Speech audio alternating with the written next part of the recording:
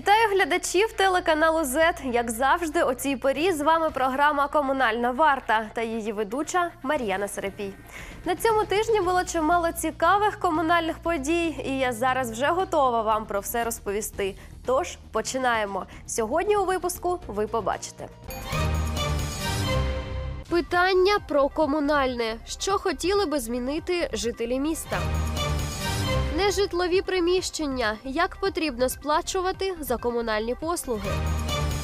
Важливий документ. Що треба підписати із концерном МТМ? Переваги прямого договору. Як перевтілюється будинок на європейський? Перша необхідність в будинку на Павло-Кічкаській замінили каналізаційний випуск. Хвилинка просвітництва. Інтерв'ю із юристом щодо питань створення ОСББ та переходу від керуючих компаній. Всім відомо, що житлово-комунальна сфера міста найактуальніша та найболючіша тема для городян. Проблеми виникають щоденно і пов'язані вони переважно із застарілим житловим фондом. Як бути в такій ситуації? Як її виправити? Що можна змінити, оновити, вдосконалити? З цим питанням ми звернулись до мешканців Запоріжжя. І от що почули. Менять надо все. А как менять?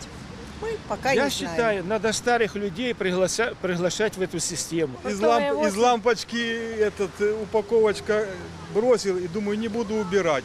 Две недели никто эту упаковочку не убирал. И все.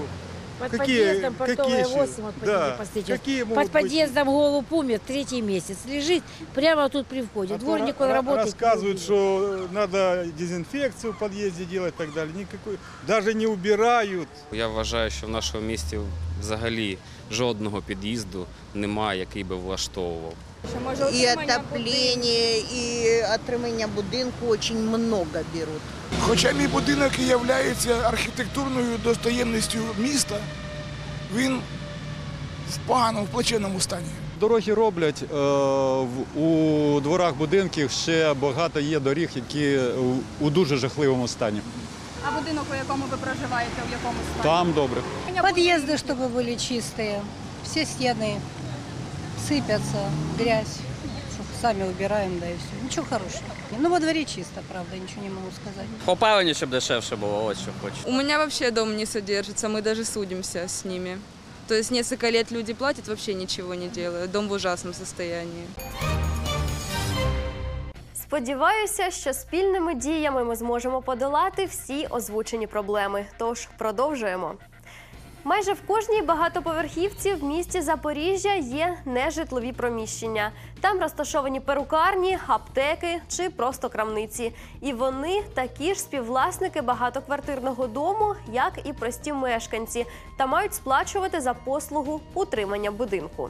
Саме про це ми сьогодні будемо говорити із Артемом Білим, виконавчим директором керуючої компанії Мрія. Я бы хотел акцентировать внимание на то, что любое, каждое нежилое помещение, независимо от того, это первый этаж или подвальное помещение, но каждое нежилое помещение является частью дома. Соответственно, все счета на оплату за управление услуги все должны оплачивать.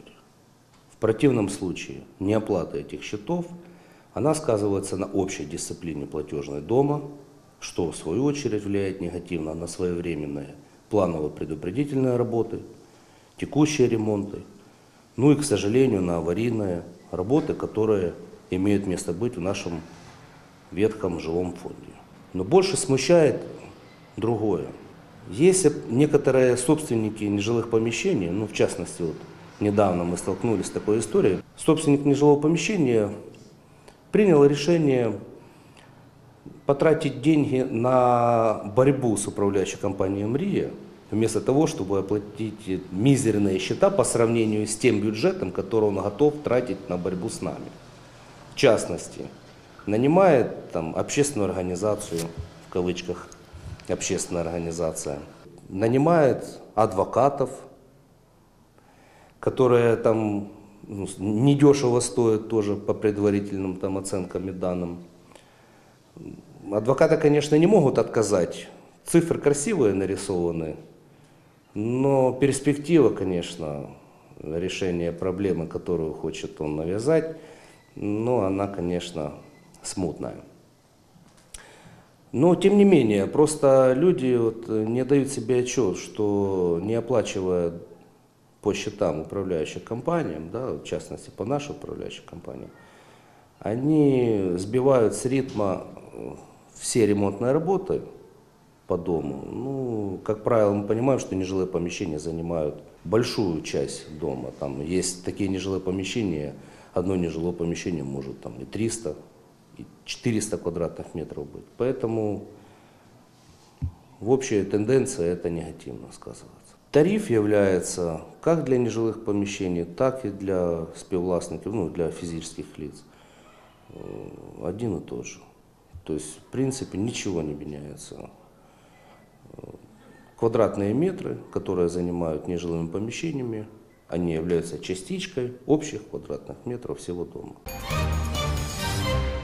У минулих випусках я розповідала вам про конфліктні ситуації між мешканцями житлових будинків або ж власниками нежитлових приміщень із концерном міські теплові мережі. Вони стаються через те, що люди висаджують клумби або ж дерева та кущі на теплових мережах. А потім, коли стаються аварійні ситуації, представники концерну всю ту красу руйнують. Сьогодні ж я пропоную вам переглянути матеріал, в якому вам розкажуть, який саме документ вам необхідний, аби уникнути таких неприємних ситуацій. Законами Украины про земли энергетики, про теплоснабжение, трубопроводном транспорте, ДБН, теплоснабжение, правила технической эксплуатации теплоиспользующих установок для обеспечения безопасной эксплуатации и охраны энергогенерирующих объектов и объектов, транспортирующих тепловой энергии, обеспечения безопасности населения и охраны окружающей среды вводятся охранные зоны тепловых сетей. Э, В пределах охранных зон тепловых сетей запрещается возводить любого вида постройки, а также производить насадку, посадку многолетних деревьев, кустарников, стоянку автомашин, ну, любого вида сооружений, это запрещено действующим законодательством. Ну и проводить любые работы по благоустройству территории в пределах охранной зоны тепловых сетей.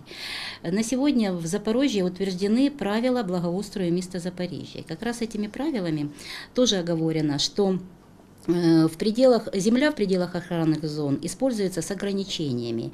И э, эти ограничения предусмотрены, ну, в объеме пре- предусмотрены законодательством или договором. То есть вот как раз хочу обратить э, внимание, что договором и предприятие, которое эксплуатирует тепловые сети, выдает э, письменное разрешение э, жителям, физическим лицам, юридическим лицам, разрешение на проведение каких-либо работ в пределах охранной зоны. Э, Вот как раз законодательством предусмотрено э, заключение договора. Э, Для того, чтобы избежать в последующем каких-то э, ситуаций, неблагоприятных ситуаций ну, во взаимоотношениях э, объекта благоустройства и концерна тепловые сети, мы предлагаем заключать договор, где будут определены четко обязанности каждой из сторон.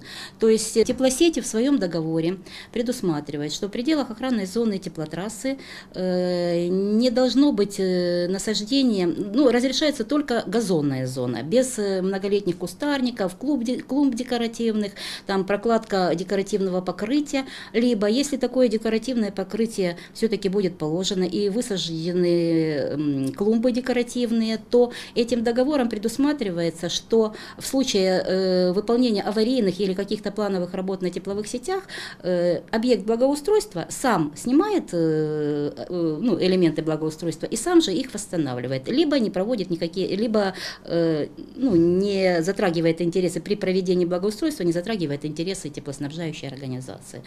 Ну, вот эти моменты прописываются в договоре, потом э, прописывается, что надо выполнить объекту благоустройства при проведении работ. Должны предпринять все мероприятия, чтобы э, обеспечить охранность тепловых сетей. Они не должны, э, это в договоре предусматривается, они не должны ставить там грузоподъемные любые механизмы, автокраны, не должны захламлять, если на территории их проходят, находятся тепловые камеры, они не должны захламлять эти тепловые камеры, не должны э, снег туда ссыпать. И э, в пределах охранных зон вот благоустройство э, ну, покос карантинных трав обеспечивать, если там такое есть, это все к их обязанностям относится.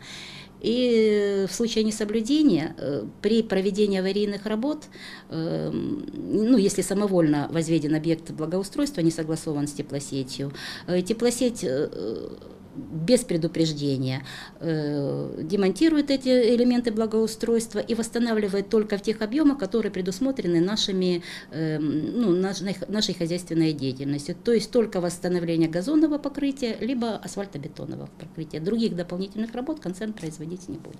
Все работы, которые по декоративным покрытиям, выполняются за счет собственника или в- властника этого объекта благоустройства. Это все прописується в договорі? Это все прописывается в договоре. Да. И договор подписывается э, двумя сторонами, естественно, и э, обязанность каждой стороны прописывается договора. Э, срок действия договора, ну, если по элементам благоустройства, то есть он на весь период существования этого элемента благоустройства. Если это по поводу размещения каких-либо временных сооружений, то это на период разрешительных документов на установку этих временных сооружений. Ну, только такое. Нагадаю, ви дивитесь програму Комунальна варта на телеканалі ЗЕТ. І далі у випуску будемо говорити про таке. Відновлення по. Як ремонтують будинок на європейській. Важливі роботи на вулиці Павло Кічкаській замінили каналізаційний випуск. Розставити крапки над і роз'яснення юриста питань щодо створення ОСББ. На цьому тижні мене покликали в один з будинків на вулиці Європейській. Там керуюча компанія робила ремонт під'їздів. Окрім того, люди похизувалися, яких ще оновлень зазнав їхній будинок протягом останнього року. Космічний мікрорайон, дім 12 по вулиці Європейській. Він рік знаходиться на прямому договорі із керуючою компанією. І за цей період зроблено немало, кажуть мешканці. С управляющей компанией «Мрия» мы как вот год заключили договор, э, эм, нам сделали, можно сказать, э, предостаточно. Сделаны все крыши, все крыши исключительно. Если где какая утечка, у нас э, сразу это все устраняется, нет никаких проблем. Э, сде- сделай- Сделанный подвал. Подвал можно сделан, уже у нас почти на 70% сделан подвал. подвал. Сделана горячая, холодная вода. Сделано отопление, правда, у нас осталось что только сделать, это отопление. Теперь у нас делаются ремонты в подъездах. Значит, в первом подъезде сделали тоже это управляющая компания. Э, Сейчас делается в четвертом подъезде. У нас тоже сделан ремонт. Вот, мы вас пригласим, посмотрите, как люди стараются, поддерживают чистоту. Вот обратите внимание, наш, наши панисадники, люди тоже э, стараются, садят, ухаживают. Ну, в общем, э, мы, управляющей компанией, довольны. Есть люди, конечно, которые, может, там где-то что-то об управляющей компании говорят, но они много не знают. А когда не узнают, говорит, мы никаких, вот теперь никаких вопросов э, в отношении управляющей компании нет.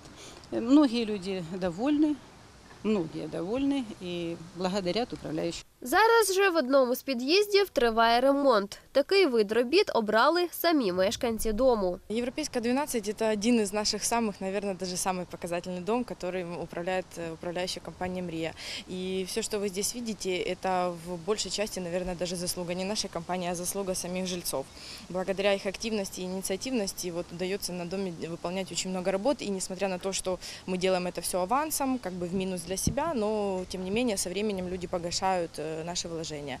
Э, Уровень оплат на доме тоже неплохой. На данный момент он достигает 91%, но, но это еще даже немного по сравнению с предыдущим периодом. То есть, ну, возможно, лето, отпуска, там люди где-то были, а в принципе достигает и и 100% оплаты. Ну, потому что вот люди видят, что мы делаем, и есть от них обратная связь.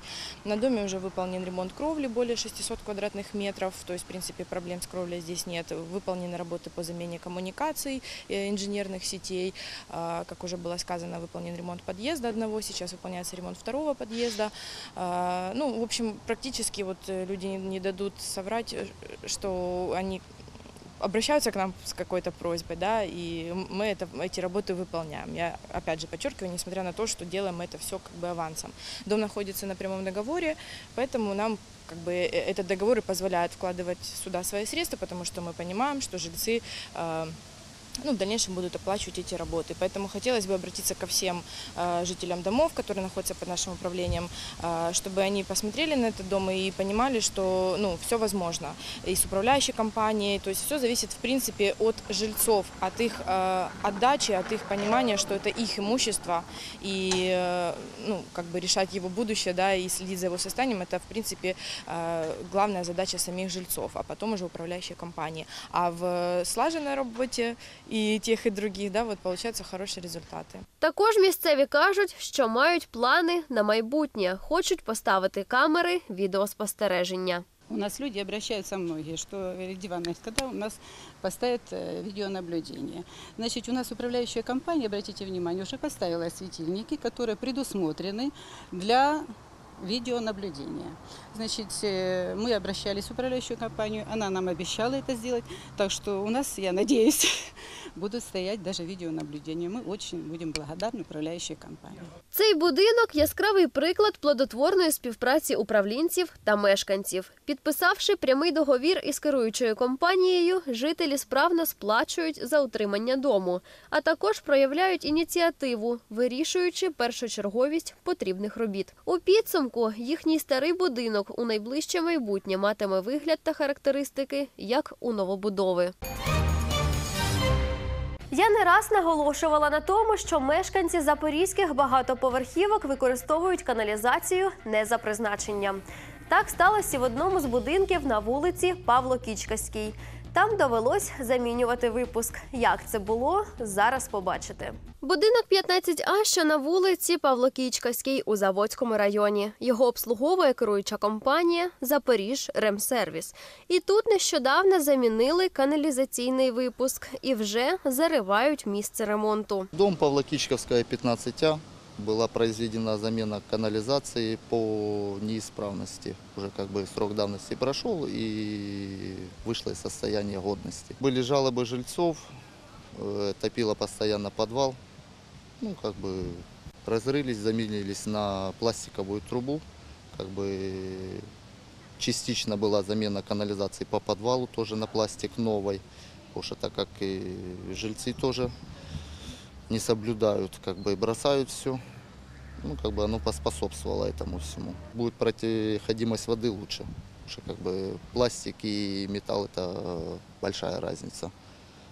Не будет забиваться так часто. Як бачимо, і тут мешканці постарались у поганому сенсі цього слова. Я ще раз звертаюсь до жителів Запоріжжя. Будь ласка, не змивайте у каналізацію непотріб, адже не завжди буде змога її замінювати. А своїми діями ви наражаєте на небезпеку і себе, і своїх сусідів.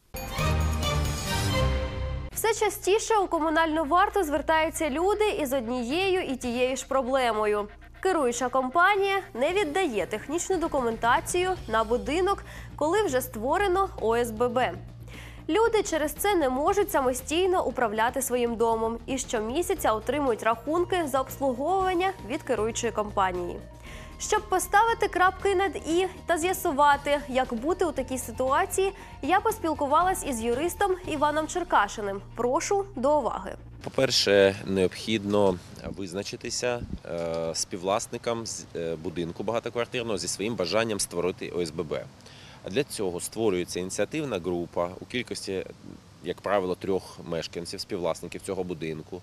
Е, Ці співвласники звертаються і безкоштовно отримують від органів реєстрації перелік всіх співвласників зазначенням ну, прізвищ і їх розміру часток е, в цих квартирах в багатоквартирному будинку.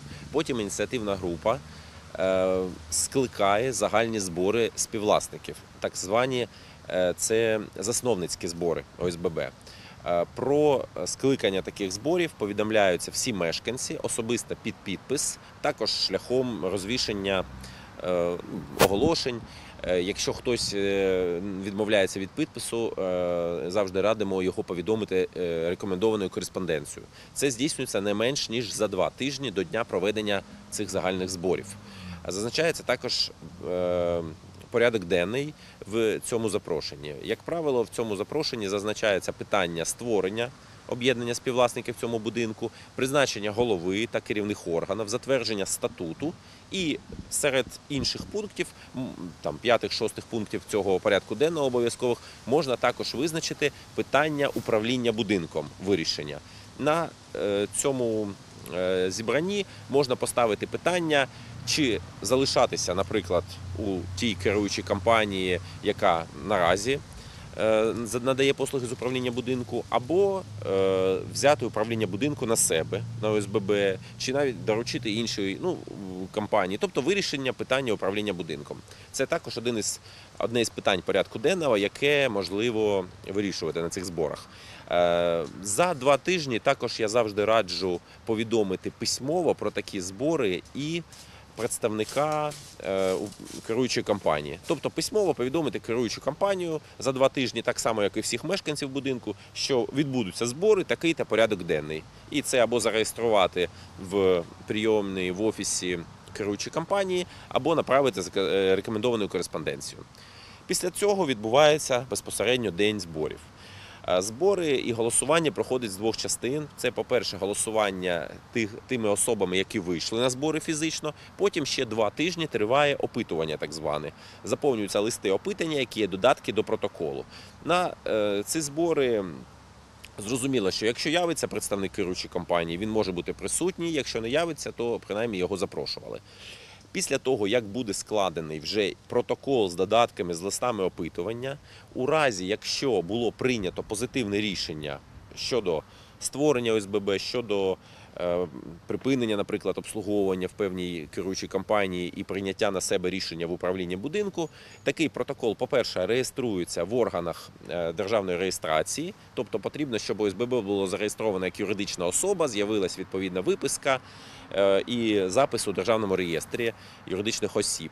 І також е, копію засвідчену цього протоколу, статуту, рішення про реєстрацію, е, виписки цієї е, передається головою вже новоствореного ОСББ до керуючої компанії. Знову ж таки, обов'язково потрібно все це здавати під підпис або через приймальню під реєстрацію, або шляхом направлення цього пакету рекомендованим з описом документів.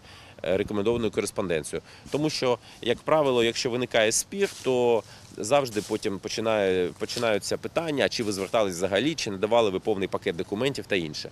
Отже, е, після того, як всі ці документи передані до керуючої компанії, е, знову ж таки, в цьому листі супроводному, в якому ці документи надаються, потрібно вимагати передачу згідно законодавства технічної документації на будинок та припинення обслуговування з певної дати.